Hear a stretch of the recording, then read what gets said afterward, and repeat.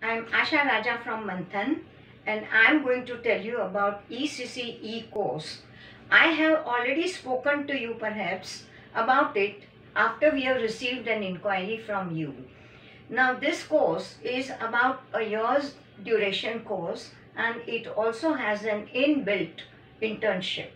It is actually including the theory part where you will be learning about child development, child psychology, as well as it includes the journal making, which would be including all the lesson plans, which will be teaching you how to conduct classes with small children in the age group 2 to 5 and that would be teaching them nursery rhymes, stories, as well as uh, compositions. Also it includes phonetics, how to arrange the field trips and also how to do the parental meetings and the preparations.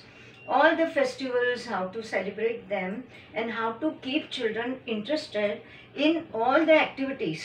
These are very small children and first time they are experiencing their outings from the home and teachers are the first contact after the parents.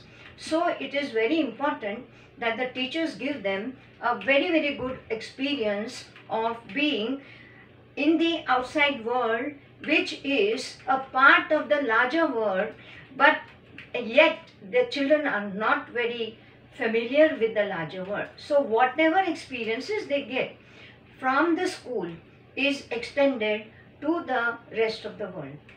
We want you to just go through our websites. We are sending you the links below and uh, I would like you to go through it and please get in touch with us.